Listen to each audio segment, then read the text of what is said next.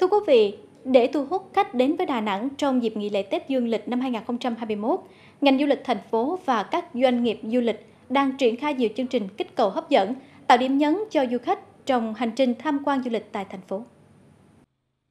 Ghi nhận tại các đơn vị lữ hành trên địa bàn thành phố Đà Nẵng, dịp Tết Dương lịch 2021, các doanh nghiệp đều tung ra các chương trình hấp dẫn để thu hút du khách đến tham quan du lịch tại thành phố. Nổi bật nhất chính là các tour kích cầu với giá ưu đãi. Ngoài ra, một số doanh nghiệp cũng làm mới các tour truyền thống để mang đến cho du khách những trải nghiệm tuyệt vời trong kỳ nghỉ sắp đến. Đa phần các sản phẩm đều là cái giá rất là tốt, chưa có lần nào thì tốt hơn cái đợt này hết. Kể cả trong thời gian gọi là lễ Tết, nhưng mà giá thì vẫn là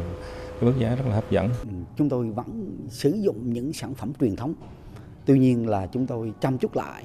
nâng cấp lên và giá thì phải chăng và phục vụ tốt hơn. Chúng tôi à, khuyến mãi thêm một số cái dịch vụ à, khác cho cho khách bên cạnh là những những cái cái tour truyền thống của chúng tôi. Còn tại các cơ sở lưu trú ở Đà Nẵng, bên cạnh việc nâng cao chất lượng phục vụ du khách, các khách sạn cũng tung ra các chương trình hấp dẫn về giá phòng, dịch vụ. Một số khách sạn cho biết sẽ tổ chức các chương trình đặc sắc chào đón năm mới để du khách có những khoảnh khắc đáng nhớ khi lưu trú tại thành phố bên bờ sông Hàn dịp lễ sắp đến. Trong cái dịp Tết ờ,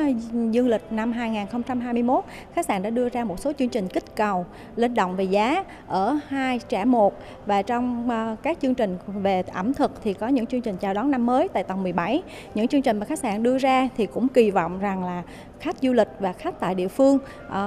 tiếp tục ủng hộ cho du lịch Đà Nẵng. Bên cạnh các chương trình kích cầu của các đơn vị lữ hành và cơ sở lưu trú, Dịp Tết Dương lịch 2021, ngành du lịch thành phố Đà Nẵng sẽ tổ chức chương trình lễ hội Đà Nẵng chào năm mới 2021. Lễ hội sẽ diễn ra từ ngày 29 tháng 12 năm 2020 đến ngày 2 tháng 1 năm 2021 tại hai bên bờ sông Hàn và công viên châu Á với nhiều hoạt động đặc sắc, sôi nổi dành cho người dân địa phương và du khách.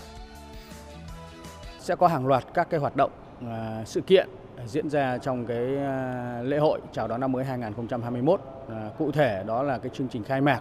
với sự tham gia của nhiều nghệ sĩ, diễn viên và chương trình trải nghiệm miễn phí tour du lịch trên sông Hàn, diễu hành xích lô và các cái cụm âm nhạc đường phố. Và điểm nhấn có lẽ là đặc sắc nhất của lễ hội lần này đó là lễ hội mì. Thông qua đó thì chúng tôi cũng muốn giới thiệu à, cái nét văn hóa ẩm thực đặc trưng của Việt Nam, của xứ Quảng à, tới với lại bạn bè trong nước. Ngoài ra, du khách đến với Đà Nẵng dịp năm mới 2021 sẽ được tham quan miễn phí các khu điểm du lịch gồm di tích quốc gia đặc biệt danh thắng Ngũ Hành Sơn, Bảo tàng Đà Nẵng, Bảo tàng Mỹ thuật, Bảo tàng Chăm từ ngày 1 tháng 1 đến ngày 31 tháng 12 năm 2021, cũng như trải nghiệm nhiều sự kiện hấp dẫn khách. Các doanh nghiệp du lịch kỳ vọng với nhiều chương trình đặc sắc, lượng khách đến Đà Nẵng dịp này sẽ tăng trưởng ấn tượng, tạo đà phục hồi cho du lịch thành phố.